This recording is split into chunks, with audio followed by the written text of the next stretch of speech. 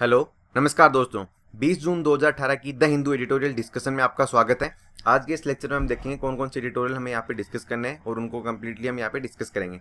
सबसे पहले एक बार और ले लेते हैं कि कौन कौन से एडिटोरियल आज हम यहाँ पे देख रहे हैं। तो एक बार उनका मोटा मोटा आइडिया देख रहे हैं। ये यहाँ पे जो मेन आर्टिकल है, छोटे वाला, इस आर्टिकल में एक्चुअली बताया गया है, जम्मू एंड कश्मीर में जो बीजेपी गवर्नमेंट और वहाँ की जो पीडीवी है, उनके बीच में जो भी हालात चल रहे हैं, दोनों के बीच में गठबंधन टूट रहा है, उसकी बात यहाँ पे डिस्कस की गई है। तो फुली एक तरीके से पोलिटिकली मोटिवेटेड आर्टिकल है तो हमें इसको डिस्कस करने की कोई ज़रूरत है, वो नहीं है। यहाँ पे ये जो आर्टिकल है, ये काफ़ी अच्छा आर्टिकल है। ये इंडिया और यूरोशिया के बारे में डिस्कस किया गया है कि भी इंडिया के पास किस किस तरीके के मौके वगैरह हैं तो इस आर्टिकल को भी हम अच्छे से डिस्कस है, वो करेंगे। यहाँ पे ये जो आर्टिकल दिया गया है, ये आर्टिकल यहाँ पे रिफ्यूजीज के कन्वेंशन के बारे में कि भी इंडिया को रिफ्यूजी एस वगैरह है, वो तैयार करके काम है, वो करना चाहिए। क्योंकि आज तो आपको पता है कि वर्ल्ड रिफ्यूजी डे है, उसी मौके पे इस आर्टिकल में कुछ पॉइंट्स है, वो बताए गए हैं। यहाँ पे ये जो आर्टिकल है बैंकिंग सेक्टर के बारे में आईसीआईसी बैंक का जो चल रहा है इशू उसके बारे में यहाँ पे डिस्कस वो किया गया है। ये जो आर्टिकल है, इस आर्टिकल में आज आपको बता दूँ इंटरव्यू की फॉर्म में डिस्कस किया गया है। आज वेडनेसडे इसलिए इस आर्टिकल में बताया गया कि हमारे देश की जो ग्रोथ है इकोनॉमिक ग्रोथ रेट है, वो सेवन पॉइंट थ्री परसेंट के अकॉर्डिंग जाएगी। तो डाटा आपको याद रखने की ज़रूरत नहीं है। बाकी एक दो पॉइंट्स वगैरह आगे डिस्कशन में हम देख लेंगे। यहाँ पे ये जो आर्टिकल है एजुकेशन सेक्टर में रिफॉर्म के लिए बातें बताई गई हैं, उनको हम यहाँ पे देखने वाले हैं। तो ये थे एक बार और यू अब हम चलते हैं आगे हमारी डिस्कशन की तरफ़। सबसे पहले हम चलते हैं हमारे मेन आर्टिकल जो आया है यूरोशिया के बारे में। तो देखो, उसमें बात की जा रही है एससीओ की। सबसे उसमें मेन पॉइंट हमारा एससीओ होता है संघाई कॉरपोरेशन ऑर्गेनाइजेशन की। देखो, अभी रिसेंटली तीन तरह की मीटिंग हुई थी मतलब तीन मीटिंग हुई थी रिसेंटली एक तो हुई थी एससीओ की मीटिंग एक हुई थी जी सेवन कंट्रीज़ की मीटिंग और एक हुई थी यहाँ पे जो मीटिंग हुई थी, वो हुई थी ट्रंप और नॉर्थ कोरिया के बीच में जो हुई थी मीटिंग, वो मतलब तीन इंपॉर्टेंट मीटिंग हुई थी, काफ़ी इंपॉर्टेंट होती हैं, देखा जाए तो ऑल ओवर वर्ल्ड में। और इन मीटिंग के बारे में बताया गया कि देखो, इससे यूरोशिया में एक बड़ा मतलब भूचाल आप बोल सकते हो आप कि काफ़ी तलखी वो आने वाली है और रिलेशन इन कुछ कंट्रीज़ के रिलेशन भी इंप्रूव होने वाले हैं। अब हम यहाँ पे डिस्कस करेंगे कि इन चीज़ों से भाई इंडिया को क्या फ़ायदा है, वो हो सकता है। तो हमारे लिए इंडिया की डायमेंशन इंपॉर्टेंट हो जाती है तो उस पॉइंट से हम इसको पूरा ओवरव्यू है, वो देखेंगे। तो सबसे पहले बात आती है संघाई कॉरपोरेशन ऑर्गेनाइजेशन की। आपको पता है कि एससीओ का इंडिया और पाकिस्तान है, वो रिसेंटली मेंबर बन गए थे। मतलब उन्होंने मीटिंग को या समिट को अभी इस बार है, उन्होंने उसमें भाग है, वो लिया था। सदस्य बनने के बाद। तो हमारे लिए एस इंपॉर्टेंट जाता है कौन कौन सी कंट्रीज़ के मेंबर हैं, वो हमें यहाँ पे क्लियर रखनी है। सबसे पहली बात आती है चाइना इसका मेंबर है, इसके बाद में Kazakhstan Kyrgyzstan Russia Tajikistan Uzbekistan Pakistan और इंडिया आपको कमेंट बॉक्स में यहाँ पे आज के क्वेश्चन में बताना है, एक तो सारे कंट्रीज़ कौन कौन सी हैं। इसके साथ आपको बताना है बिम्स्टेक के मेंबर बिम्स्टेक और सार्क कंट्रीज़ के मेंबर हैं, उनको आपको कमेंट बॉक्स में बताना है। इसके बाद में इसमें कुछ ऑब्जर्वर स्टेट भी हैं, जैसे कि ईरान हुआ मंगोलिया हुआ अफ़गानिस्तान हुआ और बेलारूस से। तो इनकी बात यहाँ पे की जा रही है तो इनको हम यहाँ पे थोड़ा मोटा मोटा इनके बारे में आइडिया है, वो लेने वाले हैं कि इनकी क्या इंपॉर्टेंस है और इससे हमें क्या फ़ायदा हो सकता है। नेक्स्ट हम आगे चलते हैं, यहाँ पे मेन बात चलते हैं, वो चलते हैं सेंट्रल एशिया की तरफ़। तो सेंट्रल एशिया में कौन कौन सी कंट्री आती हैं, वो हमारे लिए इंपॉर्टेंट भी होती हैं मेंस के नज़रिए से भी और प्री के नज़रिए से भी। इसी के साथ इनकी लोकेशन हमें पता होनी चाहिए। सबसे पहले बात आती है कजाकिस्तान की। तो कजाकिस्तान सबसे बड़ी कंट्री है, इसकी ये लोकेशन है यहाँ पे सेंट्रल एशिया में। यहाँ पे फिर आता है उज्बेकिस्तान इसके नीचे और यहाँ पे आता है तुर्कमेनिस्तान या इसकी तुर्कमेनिस्तान की लोकेशन देख सकते हो और यहाँ पे आ गया किर्गिस्तान चाइना के पास में और इधर अफ़गानिस्तान के जस्ट ऊपर है, वो आ गया तजाकिस्तान तो इनकी लोकेशन आप ध्यान रखनी है। तुर्कमेनिस्तान है, वो इधर ईरान की साइड है और तजाकिस्तान है, वो इधर अफ़गानिस्तान की साइड है। इसके बाद में आता है किर्गिस्तान, जो कि ऊपर है, चाइना की साइड और यहाँ पे कजाकिस्तान सबसे ऊपर है। कजाकिस्तान की कैपिटल है अस्ताना आपको पता ही होगा न्यूज़ में काफ़ी रहती है तो इसके बारे में थोड़ा हमें आइडिया होना चाहिए। यहाँ पे केसपेन सी है, इसकी लोकेशन भी हमें थोड़ा ध्यान होना चाहिए केसपेन सी की। इसके साथ चलो आप कमेंट बॉक्स में बताइए कि केसपेन सी को कौन कौन सी कंट्री की बाउंड्री है, वो टच करती है। तो ये थी मैंने लोकेशन अब हम चलते हैं आगे हमारी डिस्कशन की तरफ़। देखो कंटेक्स्ट तो हमने डिस्कस कर लिया है, अब आगे चलते हैं हमारा जो मेन मोटो है वो। सेंट्रल एशिया मैंने बताया कि सेंट्रल एशिया में रसिया जब एक तरीके से यूएसए साथ जब डिसइंटीग्रेट हुआ था हम लोग टुकड़ों में बटा था, उस टाइम पे मैंने सेंट्रल एशिया की कंट्री वो बनी थी। क्योंकि आप देख सकते हो उस टाइम स्टार्टिंग में रसिया में आता था ये सारा एरिया चाइना को छोड़ के धीरे मंगोलिया वाला किर्गिस्तान वाला, ये वाला एरिया बट बाद में धीरे धीरे ये थोड़ा मंगोलिया का थोड़ा पार्ट आता था, पूरा कंप्लीट मंगोलिया नहीं था उस टाइम पे, बाकी मंगोलिया अलग से भी स्टेट था। तो इस तरीके से मैक्सिमम हिस्सा वो रूस के अंडर था। बाद में यूएसएसआर जब टूटा तो उस टाइम पे स्वतंत्र कंट्री बनी थी जो मैंने आपको सेंट्रल एशिया कंट्री जब भी बताई है। तो अभी हम देखते हैं कि इंडिया को इससे क्या फ़ायदा होने वाला है और क्या क्या इससे हमें बेनिफिट्स देख सकते हैं कौन कौन सी डायमेंशन यहाँ पे देखेंगे। सबसे पहले बात की जा रही है संघाई कॉर्पोरेशन ऑर्गेनाइजेशन की। तो देखो, हमारे पड़ोसी देशों के साथ रिलेशन इंप्रूव करने का काफ़ी अच्छा मौका है। क्यों? क्योंकि संघाई कॉर्पोरेशन ऑर्गेनाइजेशन में पहले इंडिया मेंबर नहीं था। तो पहले क्या सीन था?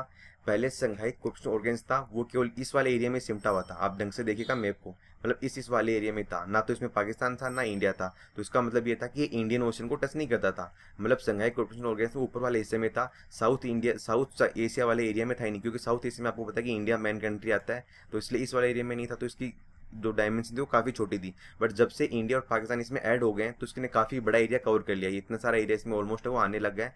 तो उसका फ़ायदा ये होगा कि संघाई कॉर्पोरेशन ऑर्गेनाइजेशन है, इसका दायरा बढ़ गया है एस का। इंडियन ओशन तक इसकी पहुँच हो गई है तो इससे क्या होगा, जो इंडियन ओशन तक की जो कंट्रीज़ है ना, इनके आपस में बीच में रिलेशन इंप्रूव करने का काफ़ी अच्छा मौका रहेगा। बात की जा रही है यहाँ पे इंडिया और चाइना की मैनली देखो इंडिया और चाइना के बीच में काफ़ी सारे इश्यूज़ भी हैं। कंसर्न कौन कौन से हैं? सबसे बड़ी बात देखा जाए तो इंडिया चाइना के बीच में कंसर्न है। एक तो है बेल्ट एंड रोड इनिशिएटिव या वन बेल्ट वन रोड वाला कंसर्न है। इसके साथ देखा जाए तो बाउंड्री का इश्यू भी है, और एक मैन इशू आप देख सकते हो एशिया के अंदर वो आता है पाकिस्तान और इंडिया वाला इशू आपको पता है कि काफ़ी गर्मा गर्मी रहती है। तो ये मैनली बड़े कंसर्न है। और उसके बाद में आर्टिकल ये कह रहा है कि देखो, इस बार जो एससीओ का समिट हुआ ना, इस दौरान जो कंसर्न थे, इनको थोड़ा साइड में रखा गया और अच्छी चीज़ों पर फोकस किया गया, ताकि रिलेशन है, उनको इम्प्रूव किया जा सके। तो देखो रिलेशन जब इम्प्रूव करने में तो हमें एक साथ मिलकर चलना होगा। इसलिए राइटर का ऐसा कहना है कि अफ़गानिस्तान और ईरान की हेल्प से इंडिया को क्या फ़ायदा होगा? अफ़गानिस्तान और ईरान की वजह से इंडिया क्या करेगा? सेंट्रल एशिया तक अपनी पहुँच है, वो बना लेगा। इसके बाद में बात ऐसी आती है कि सेंट्रल एशिया में एनर्जी रिसोर्सेज बहुत अच्छे हैं, इसलिए इंडिया अपनी एनर्जी सिक्योरिटी है, उसको भी आराम से सिक्योर है, वो कर सकता है। बात की जा रही है चाइना की। चाइना भी लगातार ये इस दिशा में कदम बढ़ा रहा है कि भाई वो एक अपनी मतलब इंटरनेशनल ब्रांड बनने की तरफ़ अग्रसर है तो क्यों ना क्यों उससे को भी इंडिया के साथ रिलेशन इंप्रूव करने चाहिए। देखो बात ऐसी है कि चाइना है, उसकी डोमिनेंस लगातार बढ़ती जा रही है। इस चीज़ में कोई कमी नहीं है। बिल्कुल चाइना अपनी जो वैल्यू है, वो लगातार बढ़ते जा रहा है और इवन चाइना की वैल्यू आप देख सकते हो, अफ्रीका में भी लगातार बढ़ रही है। इसके साथ वेस्टर्न कंट्रीज़ में भी बढ़ रही है। इसके साथ देखोगे यहाँ पे तो जो ये ईरान ईरान ईरान हुआ ईरान सऊदी अरब हुआ, इन वाले एरियाज़ में भी लगातार इसकी मतलब जो पहुँच है, वो लगातार बढ़ती जा रही है। इसके साथ साउथ एशिया है, इसमें भी लगातार और देख सकते हो, और साउथ ईस्ट जो एशियन की कंट्रीज़ हैं, यहाँ पे जो आसियान कंट्रीज़ आती हैं, इनमें भी इनकी लगातार पहुँच वो बढ़ती जा रही है। मतलब चाइना एक तरीके से ग्लोबल पावर बनने की तरफ़ लगातार अग्रसर है तो यहाँ पे इंडिया को भी काफ़ी बेनिफिट हो सकता है। देखो, अगर हमारे पड़ोसी इस दिशा में लगातार आगे बढ़े तो हमें भी वहाँ से कुछ ना कुछ सीखने को मिल सकता है। इसके साथ अहम बात ये होती है कि एस की जो मीटिंग हुई है, बड़ी जो मीटिंग हुई है, उससे एक बेनिफिट हो जाएगा कि इंडिया है ना, वो पाकिस्तान के साथ मिलकर अपने रिलेशन इंप्रूव करने की दिशा में कदम बढ़ेगा और पाकिस्तान भी ऐसे। तो ऑल ओवर बेनिफिट हो जाएगा कि इस वाले एरिया में शांति स्थापित करने में दोनों को काफ़ी हद तक बेनिफिट होने वाला है। इसके साथ बात की जा रही है कि देखो, रशिया के जो रिलेशन आपको पता है कि वेस्ट कंट्रीज़ के साथ अच्छे नहीं है, जबकि चाइना के साथ चाइना के जो रिलेशन है वो मेनली यूरोपियन और वेस्टर्न कंट्रीज़ के साथ ठीक ठाक है, ज़्यादा अच्छे तो नहीं बोल सकते बट इकोनॉमिक रिलेशन ठीक ठाक है। इसलिए आप देखोगे तो इंडिया मतलब एशिया में क्या सीन चल था? एक साइड तो रशिया है, एक साइड चाइना है। क्योंकि रशिया की है तो आपको पता है वेस्टर्न एक साथ बिल्कुल नहीं बनती है और चाइना की वेस्टर्न के साथ ठीक ठाक मतलब काम चल जाता है। और अब इंडिया अगर इसमें एससीओ में शामिल हो गया तो इंडिया क्या करेगा? इन दोनों के बीच में काफ़ी अच्छा कम्युनिकेट करने का काम करेगा। क्योंकि इंडिया की जो पहुँच आपको पता है कि वेस्टर्न वेस्टर्न कंट्रीज़ में काफ़ी अच्छी है। तो इसलिए इंडिया की हेल्प से रशिया और चाइना के रिलेशन भी इंप्रूव हो जाएँगे और रशिया की वजह से इंडिया और चाइना के रिलेशन इंप्रूव होने में भी काफ़ी फ़ायदा मिलेगा। क्योंकि आपको पता है कि रशिया और इंडिया की दोस्ती तो काफ़ी पुरानी है और इसी नज़रिए से देखा जाए तो आजकल रशिया और चाइना के रिलेशन भी इंप्रूव हो रहे हैं। तो अगर रशिया और चाइना के रिलेशन इंप्रूव हो रहे हैं तो उसे ओबियसली रशिया है, वो इंडिया और चाइना के रिलेशन भी इंप्रूव कराने में हेल्प करेगा और इंडिया हेल्प करेगा चाइना और रशिया की हेल्प से वेस्टर्न एशिया में रिलेशन को इंप्रूव करने में। तो मतलब बात ये हुई कि एक बैलेंस बन जाएगा इस वाले एरिया में और इंडिया को भी इससे काफ़ी सपोर्ट है वो मिलने वाला है। इसके साथ अहम बात की जा रही है हमारे वो पड़ोसी देश फेवरेट जिसको आप बोल सकते हो, पाकिस्तान। उसके साथ रिलेशन लगातार हमें इंप्रूव है, वो करने हैं। यहाँ पे देखो इस जो मीटिंग हुई थी, इसमें मैन फोकस किया गया था काउंटर टेररिज्म को। अभी आपको बता दूँ रिसेंटली इंडिया और पाकिस्तान है, वो रशिया में काउंटर टेररिज्म एक्सरसाइज हो रही है और उसमें दोनों लगातार पार्टिसिपेट करने की कोशिश करें और पार्टिसिपेट करेंगे भी। तो इससे एक अच्छा मौका ये मिलेगा कि दोनों को रिलेशन इंप्रूव करने का मौका तो मिलेगा ना। देखो, जब तक दोनों कंट्रीज़ में कोई बातचीत नहीं होगी कुछ ना कुछ एक्टिविटीज़ नहीं होगी, तब तक रिलेशन इंप्रूव कैसे होंगे? मतलब अगर हमें कुछ करना है तो कोई ना कोई तो एक्शन हमें लेना पड़ेगा ना। अब हो सकता है कि उसका रिज़ल्ट ज़्यादा अच्छा ना हो ठीक ठाक हो एवरेज हो बट कुछ ना कुछ अगर हम एक्शन लेंगे, तभी तो बेनिफिट मिलने वाला है ना। तो इसलिए जो भी इनिशिएटिव लिए जा रहे हैं बी के द्वारा जो भी मीटिंग सभी हुई हैं, इनके द्वारा काफ़ी सारे मौका इंडिया को मिलेगा, पाकिस्तान को भी मिलेगा चाइना को भी, कि सभी कंट्रीज़ आपस में अपने रिलेशन इंप्रूव करके इकोनॉमिक इंटरेस्ट को लगातार है, आगे बढ़ाएँ। इसके बाद में बात की जा रही है कि देखो कोरियन पेनिनसुला की। मतलब कोरियन पेनिनसुला में दो कंट्रीज़ आती हैं, आपको पता है, एक सेकंड में देख लेते हैं, ये रहा। ये यहाँ पे आप देखते हो कोरियन पेनिनसुला इसमें दो कंट्रीज़ आती हैं, एक तो नॉर्थ कोरिया और एक साउथ कोरिया नॉर्थ कोरिया और साउथ कोरिया के बीच में भी रिलेशन है, काफ़ी इंप्रूव हो गए हैं, उसका काफ़ी हद तक बेनिफिट है वो ओवरऑल कंट्रीज़ को भी होने वाला है। क्योंकि अगर नॉर्थ कोरिया और साउथ कोरिया में शांति हुई तो इसका मतलब क्या हुआ कि एशिया वाले एरिया में शांति हो जाएगी। एशिया वाले में डिस्टर्बेंस डिस्टर्ब वाले जो एरिया एक तो ये है नॉर्थ कोरिया और साउथ कोरिया यहाँ पे बड़े इशू थे। इसके बाद में देखें तो इंडिया और पाकिस्तान के इस वाले एरिया में काफ़ी बड़े इशू चल रहे थे। और यहाँ पे वेस्टर्न जो कंट्रीज़ हैं हमारी, यहाँ पे अरब कंट्रीज़ इनमें आप बोलते हो सीरिया वाले में, इधर वाले में बड़े लोचेज हैं, वो चल रहे थे। तो मतलब इन, अगर रिलेशन यहाँ पे ठीक ठाक हो रहे तो हम वेस्टर्न कंट्रीज़ की तरफ़ भी फोकस कर सकते हैं और जो साथ मिडिल ईस्ट है, इसको भी हम लगातार आगे बढ़ाएँगे। तो ये बात यहाँ पे राइटर के द्वारा की जा रही है। बाद में लास्ट में वे फोर्ड में ये कहा जा रहा है कि देखो, हमें कोऑपरेशन और सपोर्ट पर ज़्यादा फोकस करना होगा तभी रिलेशन और ज़्यादा इंप्रूव है, वो हो सकते हैं। तो इस दिशा में कदम बढ़ाने की बात है, वो राइटर के द्वारा की गई है। काफ़ी अच्छे पॉइंट है यहाँ पे। और मैंने इस आर्टिकल में कहा गया कि भाई इंडिया और पाकिस्तान सॉरी इंडिया है, इसको मैनली अफ़गानिस्तान और ईरान की हेल्प से काफ़ी ज़्यादा बेनिफिट मिलने वाला है क्योंकि अफ़गानिस्तान और ईरान की हेल्प से इंडिया क्या करेगा यहाँ पे अपने रिलेशन और ईरान की वजह से आपको बताया कि वेस्टर्न जो मिडल ईस्ट की जो कंट्रीज़ है वहाँ पे रिलेशन अपने ज़्यादा और बढ़ेंगे अफ़गानिस्तान की वजह से हमारे सेंट्रल एशिया के रिलेशन हैं उनको इंप्रूव करने में हमें काफ़ी बेनिफिट है वो मिलेगा और ज़्यादा हमारे रिश्ते हैं वो प्रगाढ़ होंगे तो ये बातें इस आर्टिकल में यहाँ पे बताई गई है अब चलते हैं हम नेक्स्ट आर्टिकल की तरफ़। नेक्स्ट जो हमारा आर्टिकल है, वो है असैलम पॉलिसी के बारे में। तो इस आर्टिकल में ये बताया गया कि भाई इंडिया ना उसको अपनी असैलम पॉलिसी मतलब जो भी रिफ्यूजीज वगैरह आते हैं ना, इनकी पॉलिसी वगैरह इंडिया को बना लेनी चाहिए। थोड़ा डाटा वगैरह दिया गया स्टार्टिंग में कि इंडिया में देखा जाए तो दो लाख के आसपास रिफ्यूजीज रहते हैं। इसके बाद में थोड़ा डाटा दिया गया बांग्लादेश में अप्रोक्सीमेट छः लाख के आसपास रहते हैं। तो एक चीज़ आपको बता दूँ कि डेवलपिंग कंट्रीज़ में जो असैलम या रिफ्यूजीज की प्रॉब्लम काफ़ी ज़्यादा है। अब बांग्लादेश की हालत और ज़्यादा खराब है तो वहाँ पर रिफ्यूजी और ज़्यादा है। यूँ जब म्यांमार में इशू चला तो इसलिए वहाँ पर रिफ्यूजी और ज़्यादा बढ़ गए बांग्लादेश में। अब यहाँ पे एक बात की जा रही है, अभी रिसेंटली कंटेक्स्ट को ऐड किया गया है, वो आ गया है नगरीस। नगरीस एक जर्नलिस्ट थी अफ़गानिस्तान की, जो कि रिसेंटली वहाँ से भाग के इंडिया वो आई थी। क्यों? क्योंकि वहाँ पे उनको मारने की धमकी वगैरह दी गई थी तो वो इंडिया अपनी जान बचाने आ गई। अब देखो, यहाँ पे इश्यूज़ वगैरह क्या है, वो हम डिस्कस करेंगे कि इंडिया के पास कोई भी असैलम पॉलिसी वगैरह नहीं है तो उसका क्या क्या नुकसान हो रहा है। देखो, जो भी रिफ्यूजीज वगैरह इंडिया में आ रहे हैं, अगर उनके लिए गवर्नमेंट ने कोई प्रॉपर फ्रेमवर्क नहीं बना रखा, कोई पुलिस नहीं बना रही, इसका मतलब क्या होगा कि गवर्नमेंट उनको कोई भी सपोर्ट या कोई भी उनको फेवर वगैरह नहीं करी मतलब गवर्नमेंट उनके प्रति न्यूट्रल है। रिफ्यूजीज आ गए बस ठीक है, ना तो गवर्नमेंट उनके खाने पीने का अरेंजमेंट कर पा रही है, ना ही उनके लाइवहुड का फोकस कर पा रही है, ना ही उनको अपॉर्चुनिटी दे पा रही है, ना ही उनको जॉब दे पा रही है, ना ही उनको शेल्टर घर वगैरह दे पा रही है, ना ही उनको खाना पीना मतलब उनके लिए कोई भी काम वो नहीं कर पा रही है। अगर कोई जो ह्यूमनिटेरियन ग्रुप वगैरह वो कुछ कर रहा है तो ठीक है, बाकी गवर्नमेंट ने कोई अपनी पॉलिसी डिक्लेयर नहीं करी है। जैसे कि गवर्नमेंट ने हमें फंडामेंटल राइट दे रखे ना कि हाँ भी ये हमारे फंडामेंटल राइट अगर ऐसा कुछ होता है तो हम इनके अगेंस्ट स्टेट के अगेंस्ट जाके सोल्यूशन है वो पा सकते हैं। वैसे कि कोई ना कोई एक्ट तो होना चाहिए ना, ताकि जो भी रिफ्यूज आते हैं उनको ढंग से ट्रीट वगैरह किया जा सके। अगर इलीगल आ रहे हैं, गलत तरीके से आ रहे हैं तो उनको वैसे ट्रीट किया जाए, वापस भेजा जाए। मतलब कोई ना कोई फ्रेमवर्क तो होना ही चाहिए इंडिया का। तो उसकी बात यहाँ पे की जा रही है। आप जैसे मैंने आपको बताया था, आज 20 जून 2018 है तो आज ही है, वो वर्ल्ड रिफ्यूजी डे है। और इसी मौके पर राइटर का ऐसा करना है कि देखो इंडिया के पास बहुत अच्छा मौका है कि इंडिया अपनी जो रिफ्यूजी पॉलिसी है, जो असैलम पॉलिसी है, उसको डिक्लेयर करे, इससे इंडिया को काफ़ी अच्छा फ़ायदा वो होने वाला है। इसके बाद में बात ये जा रही है कि वर्ल्ड रिफ्यूजी कन्वेंशन हुई थी 1951 में, उसका पार्ट इंडिया अभी भी नहीं है। मतलब इंडिया ने इसको साइन नहीं किया। क्यों नहीं किया? क्योंकि इंडिया है, इसको साइन इसलिए नहीं करा कि रिफ्यूजीज की प्रॉब्लम इंडिया में काफ़ी ज़्यादा हो सकती है अगर ऐसा कुछ इश्यू वगैरह किया। तो राइटर का ये कहना है कि देखो इंडिया ने जो न्यूयॉर्क डिक्लेरेशन थी रिफ्यूजी और माइग्रेशन के ऊपर, उसको तो इंडिया ने साइन कर रखा है। उसमें भी ये रिफ्यूजी वगैरह के बारे में बातें वो की गई हैं कि कैसे रिफ्यूजीज हैं, उनको एक तरह से प्रोटेक्शन वगैरह देनी है सिक्योरिटी वगैरह, वो अरेंज वगैरह करवाने की बात है। वो बताई गई हैं। इंडिया ने न्यूयॉर्क डिक्लेरेशन को तो साइन कर रखा है बट रिफ्यूजी जो कन्वेंशन थी, उसको, उसका पार्ट है वो इंडिया अभी तक नहीं है। ये चीज़ हमें थोड़ी यहाँ पे प्रिलिम्स के नज़रिए से भी ध्यान रखनी है। इसके बाद में बात की गई है जीसीआर की ग्लोबल कॉम्पैक्ट ऑन रिफ्यूजीज ये एक तरीका एक फ्रेमवर्क है, जिसकी राइटर ये कह रहे हैं कि ये फ्रेमवर्क इंडिया को फॉलो करना चाहिए। मतलब इंडिया को global compact on refugees framework को फॉलो करना चाहिए, ताकि रिफ्यूजीज जो असलम जो भी उनकी पॉलिसी है, उनको प्रॉपर ट्रीटमेंट वगैरह की बात की जा रही है, उनको आजीविका चलाने के लिए कुछ ना कुछ घर वगैरह वो देना चाहिए। इसके साथ ही उनको जॉब वगैरह वो प्रोवाइड करनी चाहिए। इसके साथ ही उनको रहने के लिए जैसे घर वगैरह के साथ साथ बेसिक फैसिलिटीज़ होगी खाना पीना हुआ जॉब वगैरह होगी, और अपॉर्चुनिटी वगैरह हुई जॉब वगैरह इसके लिए और किसी फ़ील्ड के लिए, वो सब उन्हें मौके देने चाहिए। जैसे आप एग्ज़ाम्पल ले लो इनिका जो नगरीस जो जर्नलिस्ट थी, अब ये इंडिया में तो आ गई बट वहाँ पे तो जर्नलिस्ट थी तो अब इंडिया में थोड़ी जर्नलिस्ट के तौर पे काम कर पाएँगी। तो ऑब्वियसली कहीं ना कहीं मतलब इनके पास मौका तो नहीं है ना, क्योंकि इंडिया ने इसको अपॉर्चुनिटी नहीं दी।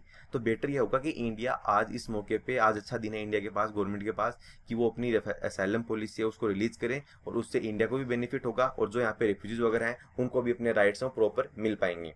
इसके बाद में ये बातें बताई जा रही हैं यहाँ पे कि गवर्नमेंट को जो इंटरनेशनल कम्युनिटी है ना, उसको भी सपोर्ट करना चाहिए। मतलब गवर्नमेंट को वहाँ से सपोर्ट हो, वो भी मिलेगा। बस गवर्नमेंट लगातार इन बातों की तरफ़ फोकस तो करे। यहाँ पे एक छोटी सी बात बताई जा रही है, वो हम थोड़ा यहाँ पे देख लेते हैं। देखो, एक असाइलम बिल भी आया था इंडिया में प्राइवेट मेंबर बिल था दो में लाया गया था। तो इस बिल के बारे में बताया गया कि देखो इंडिया एक बार बिल तो लेके आया था प्राइवेट मेंबर बिल बट वो साइन इसलिए नहीं हो पाया क्योंकि आपको पता है कि प्राइवेट मेंबर बिल है, वो किसी मंत्री वगैरह के द्वारा नहीं लिया जाता है। इसलिए वो वहीं पे धरा का धरा रह गया। तो राइटर का द्वारा कहना है कि देखो, अभी इंडिया के पास बहुत अच्छी अपॉर्चुनिटी है आज इस मौके पर जो ग्लोबल इशू बढ़ते जा रहे हैं, उनकी दिशा में भी इंडिया को कुछ ना कुछ सोचना चाहिए और प्राइवेट मेंबर बिल है, उसको जल्द से जल्द यहाँ पे डिक्लेयर करके और मतलब इसे क्लियर करना चाहिए या फिर नया बिल लेके आना चाहिए रिसेंट गवर्नमेंट को, ताकि जो भी रिफ्यूजीज के कंसर्न वगैरह हैं, उनको दूर किया जा सके। तो ये थे इस कंप्लीट आर्टिकल में जो पॉइंट्स जो मैंने आपको यहाँ पे बताई। अब चलते हैं नेक्स्ट आर्टिकल की तरफ़। नेक्स्ट जो आर्टिकल है, वो है एजुकेशन के बारे में। तो इस आर्टिकल में राइटर बहुत सीधी सीधी बातें कह रहे हैं। तो आपको मैं बता देता हूँ कि राइटर यहाँ पे कहना क्या चाह रहे हैं और क्या क्या उनके पॉइंट है। राइटर का ऐसा कहना है, देखो, कि हमें बातें कम करनी चाहिए और काम पर ज़्यादा फोकस करना चाहिए। लेस टॉक मोर एक्शन क्योंकि देखो गवर्नमेंट क्या करती है? बातें तो बहुत लंबी करती है कि हाँ हम एजुकेशन के लिए ये करने वाले हैं, इस बार हम ये रिसर्च के लिए स्कीम लेके आएँगे, इस बार हम ये काम करेंगे बट होता ग्राउंड लेवल पे कुछ भी नहीं है। बस याद कई बार तो ये होता है कि स्कीम वगैरह बना देती है, कागजों में दबी की दबी रह जाती है प्रॉपर सोल्यूशन नहीं मिल पाता है। सर्वे शिक्षा अभियान के लिए लो, और बहुत सारी चीज़ों के एग्ज़ाम्पल ले सकते हो कि गवर्नमेंट क्या है बातें तो कहती थी कि हाँ इस बार हम ये करेंगे। जैसे कि एग्ज़ाम्पल बताऊँ लास्ट ईयर गवर्नमेंट ने बजट में कहा था कि कालाजार को खत्म करेंगे बट आपको पता है कि लास्ट ईयर कालाजार जो डिज़ीज़ थी, उसको खत्म नहीं किया गया था, पूरी पूरी मतलब उससे एलिमिनेट नहीं किया गया था। तो उसका मतलब क्या हुआ? गवर्नमेंट ने बातें तो कह दी बट उन बातों को पूरा करने के लिए जो स्ट्रॉन्ग एक्शन लेने होते हैं, जो काम करना होता है, वो इंडिया ने नहीं किया। तो इसलिए इंडिया को उस दिशा में फोकस करने की एक अहम ज़रूरत होती है। तो ये राइटर के द्वारा यहाँ पे बताया जा रहा है। तो ये चीज़ आपको थोड़ी यहाँ पे ध्यान रखनी चाहिए कि राइटर का कहना है कि देखो गवर्नमेंट को काम पे ज़्यादा फोकस करना है। तो उसने कुछ पाँच सजेशंस वगैरह दिए हैं कि ये अगर पॉइंट्स यूज़ करे गवर्नमेंट तो अच्छा रिज़ल्ट मिल सकता है। एजुकेशन वगैरह की बात की जा रही है। सबसे पहली बात उन्होंने की है कि need to improve learning outcome मतलब लर्निंग आउटपुट हमें इंप्रूव करना है। क्वालिटी ऑफ़ एजुकेशन है, वो स्टूडेंट्स को प्रोवाइड करानी है। एक अच्छी एजुकेशन जिसकी आज नीड है, वो चाहिए। आज भी हमारा एजुकेशन सिस्टम है, वो काफ़ी पुराने सिस्टम को लेकर ही चल रहा है। तो आज हमें जो वर्ल्ड की डिमांड है, जो हमारी फ्यूचर डिमांड है, उसके अकॉर्डिंग हमारे एजुकेशन सिस्टम को एजुकेशन इंफ्रास्ट्रक्चर को एजुकेशन फ्रेमवर्क को हमें चेंज करने की नीड है। और सभी को एक क्वालिटी वाली एजुकेशन है, वो मिले। मतलब ऐसा नहीं हो कि डिग्री का काम चले। एक ऐसी क्वालिटी का एजुकेशन मिले स्किल भी उसमें इंक्लूड होनी चाहिए, ताकि यूथ है, वो बेरोजगार ना घूमे। इसके बाद में बात की जा रही है बेसिक इंफ्रास्ट्रक्चर की, कि देखो साथ साथ हमें बेसिक इंफ्रास्ट्रक्चर पे फोकस करना होगा, क्योंकि जब तक स्कूलों में बेसिक इंफ्रास्ट्रक्चर नहीं होगा, बच्चों के बैठने की, खाने पीने की फैसिलिटी नहीं हो रही वहाँ पे, तब तक वो कैसे स्कूल जा पाएँगे, कैसे वो ढंग से काम कर पाएँगे?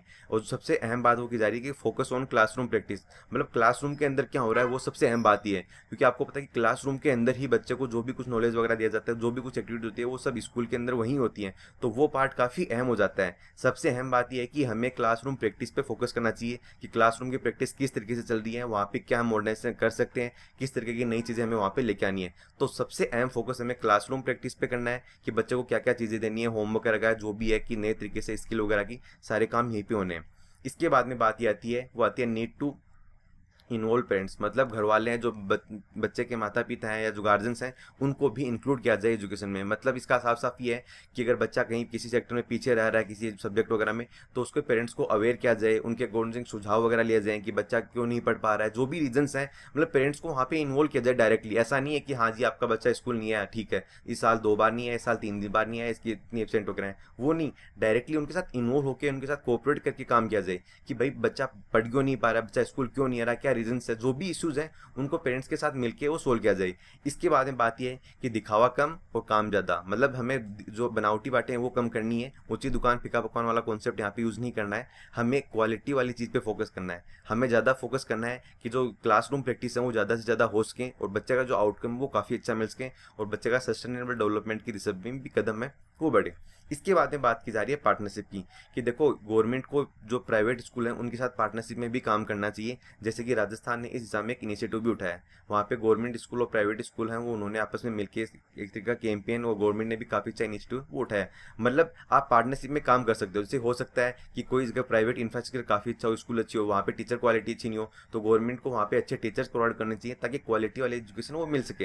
कि जगह ऐसा हो सकता है कि स्कूल का इंफ्रास्ट्रक्चर नहीं है बट टीचर उनके पास अच्छे हो गए कई ऐसा कि गवर्नमेंट के पास इंफ्रास्ट्रक्चर पर टीचर अच्छे नहीं है तो वहाँ पे भी जैसे भी मतलब गवर्नमेंट और प्राइवेट दोनों मिलकर काम करेंगे तो पब्लिक और प्राइवेट अगर मिलकर साथ आ रहे हैं तो बहुत अच्छा काम हो पाएगा। जैसे मैनेजमेंट है, वो प्राइवेट सेक्टर के अंदर रहेगा तो आपको पता है कि स्कूल का आउटकम अपने आप बढ़ जाएगा, क्योंकि थोड़ी अकाउंटेबिलिटी बढ़ जाएगी तो टीचर्स वगैरह ढंग से काम कर पाएँगे टीचर्स की ट्रेनिंग वगैरह वो होनी चाहिए, वो बातें यहाँ पे बताई गई हैं। इसके बाद में बात आती है नेक्स्ट जो आर्टिकल आता है वो आता है इकोनॉमी के। इस आर्टिकल में मेनली बताया गया है कि भाई इंडियन इकोनॉमी जैसे मैंने आपको बताया था कि इसकी ग्रोथ रेट इस बार उम्मीद की जा रही है वो बढ़ेगी सेवन पॉइंट थ्री परसेंट के अकॉर्डिंग तो देखो ये आंकड़े कितने हैं, ये कोई इंपॉर्टेंट नहीं है हमारे लिए। क्योंकि ये एग्ज़ाम में हम इतना यूज़ नहीं करना होता है। कोई सर्वे वगैरह का डाटा तो हम फिर भी यूज़ कर सकते हैं कि सर्वे ने इस बार ये कहा कि सेवन पॉइंट थ्री से बढ़ेगी, सेवन पॉइंट फोर से। वो तो हम फिर भी एग्ज़ाम में क्वेश्चन में पुट कर सकते हैं। बाकी डेली सब लोगों के अपने अपने आइडियाज़ आते हैं तो वो हमारे लिए कुछ काम के नहीं है। इन्होंने थोड़े इश्यूज़ बताए जिनके बारे में हम काफ़ी लंबे टाइम से डिस्कस कर चुके हैं ऑलरेडी कि एन की काफ़ी बड़ी इशू चल रही है, इसके साथ डिस इन्वेस्टमेंट है, उसमें भी काफ़ी अच्छा रिज़ल्ट नहीं मिल रहा है। प्राइवेट इन्वेस्टमेंट है, वो भी कहीं ना कहीं कम है। इसकी वजह से जो बैंकिंग सेक्टर है, उसके हालात थोड़े ठीक नहीं है। इसके बाद में राइटर ये बता रहे हैं कि देखो जो प्राइवेट इन्वेस्टमेंट है ना, उसको हमें इंक्रीज करना होगा। क्योंकि गवर्नमेंट है ना, वो एक लिमिट के बाद पैसा खर्च नहीं कर सकती। आपको पता है गवर्नमेंट के पास भी लिमिटेड पैसा होता है। गवर्नमेंट को काफ़ी सारे स्कीम वगैरह भी चलानी होती हैं और भी उनकी काफ़ी सारी रिस्पॉन्सिबिलिटीज़ होती हैं। इसलिए प्राइवेट इन्वेस्टर्स है ना, उनको गवर्नमेंट को अटैक करते हुए पैसा मार्केट में इन्वेस्ट करना चाहिए, ताकि लोगों को रोज़गार भी मिले और जो हमारी इकोनॉमी है, वो और ज़्यादा आगे बढ़ सके। इसके हम बात ये की पारा की बात की ज़रिए आपको पता है पारा वो बैड बैंक है, जिसके कॉन्सेप्ट मैंने आपको बताया भी था। ये बैड बैंक इसलिए बनाया गया ताकि हमारे देश में जो एनपी का इश्यू था ना, उसको निपटा जा सके। मतलब देखो एनपी क्या होता है? अगर किसी भी इंसान ने लोन लिया, जैसे ए इंसान है, इसने बैंक से लोन ले लिया और नब्बे दिन तक उसकी कोई भी किस्त वगैरह नहीं चुका रहा तो ये पैसा एनपी में कन्वर्ट होगा मतलब नॉन परफॉर्मिंग एसेट मतलब ये जो एसेट एसेट का मतलब क्या हुआ कि बैंक की संपत्ति एक तरीके से आप समझ सकते हो। मतलब नॉन परफॉर्मिंग एसेट मतलब कोई ये पैसा या जो ये संपत्ति कोई भी परफॉर्मेंस नहीं दे रही है। क्यों नहीं दे रही? ये पैसा दे नहीं रहा है। अगर ये पैसा बैंक को देगा तो फिर बैंक वापस दूसरे को लोन देगा, फिर वहाँ से इंटरेस्ट आएगा, फिर वापस तीसरे को लोन ऐसे प्रक्रिया चलती रहेगी बट इस इंसान ने पैसा बैंक को वापस दिया ही नहीं तो ये नॉन परफॉर्मिंग एसेट होगा ये हो गया एनपीए तो ये नाइन्टी डेज़ का इसका टाइम पीरियड होता है मेनली। एग्रीकल्चर सेक्टर में ये अलग टाइम पीरियड होता है इसका। अब ये नब्बे दिन में अगर पैसा एनपीए हो गया है, इसके बाद होगा क्या? अगर हमारे देश में देखा जाए तो पब्लिक सेक्टर बैंकों के पास लगभग जो भी पैसा है, जितनी प्रॉपर्टी है, उसका 10 परसेंट पैसा वो आज एनपीएम में है। तो आप देख सकते हो कि कितनी बड़ी अमाउंट हो जाती है। लगभग उम्मीद की जा रही है कि 10 लाख करोड़ के आसपास का जो पैसा है, वो अभी पब्लिक सेक्टर बैंकों का एनपीएम है। तो केवल एक मोटा मोटा आइडिया सा बता रहे हैं। हो सकता है ऐसे भी काफ़ी ज़्यादा हो। तो राइटर ने इस, ये एक्चुअली लास्ट ईयर का जो इकोनॉमिक सर्वे था, उसमें इसकी बात की गई थी कि एक भाई बैड बैंक है, वो बनाया जाए। क्योंकि जो हमारे इकोनॉमिक एडवाइजर है, अरविंद सुब्रमण्यम, उन्होंने एक कॉन्सेप्ट दिया था कि पारा एक बैड बैंक बनाएँगे ये बैड बैंक क्या करेगा? जो ये एनपी वाला पैसा है ना बैंकों से, ये लोन उधार लोन ले लेगा एक तरीके से। मतलब एक तरीके से एक बैंक बना दिया नया, वो बैंक क्या करेगा? जो भी एनपी वाला पैसा है ना, उन बैंकों के पास जाएगा, बोलेगा, भाई, आपका जो एनपी है, वो हमें दे दो, हम इसका वसूली करेंगे। तो जैसे कि दस करोड़ रुपए का लोन किसी का बकाया पड़ा है तो ये बोलेगा कि, भाई, हम आपको सात आठ करोड़ रुपए है, वो बैंक को वापस कर देंगे, बाकी एक दो करोड़ रुपए हम रखेंगे, क्योंकि हम भी पैसे वसूलेंगे। तो मतलब जो कुछ भी टूटा फूटा मिलेगा, वो अरेंज करने के लिए बैड बैंक वगैरह का कॉन्सेप्ट है, वो बनाया गया है। और भी इसमें काफ़ी सारी बातें की गई थी कि एक तरीके से इनको काफ़ी ज़्यादा पावर वगैरह दी जाएगी, ताकि जो लोग विलफुल डिफॉल्टर वगैरह हैं, वो भी पैसा वगैरह कंप्लीट करें तो वो सारी बातें यहाँ पे की गई हैं। तो ये थे कंप्लीट आर्टिकल जो मैंने आपको यहाँ पे बता दिए तो आज की डिस्कशन में फ़िलहाल इतना ही है। आपको मैं एक इंपॉर्टेंट बात फिर बताना चाहूँगा कि आप जो मेंस के आंसर राइटिंग प्रैक्टिस है, वो आप अन की जो ऑफिशियल वेबसाइट है, वहाँ से आप उसको डायरेक्टली एक्सेस कर सकते हो। वहाँ पे आंसर एक्टिव के मैंने काफ़ी लेक्चर वो अपलोड कर दिए हैं। डेली वहाँ पे दो से तीन क्वेश्चन हैं, वो अपलोड किए जाते हैं। प्रॉपर पूरा फ्रेमवर्क बताया जाता है। फ्रेमवर्क के साथ आपको कैसे आंसर लिखना है, वो बातें बताई गई हैं। कंटेक्स्ट भी सारा दिया जाता है कि ये डायमेंशन यूज़ करते हुए ऐसे ऐसे आप क्वेश्चन को लिख सकते हो। हिंदी और इंग्लिश दोनों में तो आप इजीली एक्सेस कर सकते हो। लिंक है, उसका नीचे मैं डिस्क्रिप्शन में दे देता हूँ। और जो पीडीएफ डाउनलोड करने की बात है, वो नीचे एक्चुअली डिस्क्रिप्शन बॉक्स में फेसबुक का लिंक दिया जाएगा। वहाँ से आप डाउनलोड कर लेना, क्योंकि सही वेबसाइट में कुछ थोड़ा इश्यू चल रहा है। इसकी वजह से वो ढंग से काम वो नहीं कर पा रही है। तो ये तो थी हमारी डिस्कशन फ़िलहाल की डिस्कशन में इतना ही. Thank you very much for discussion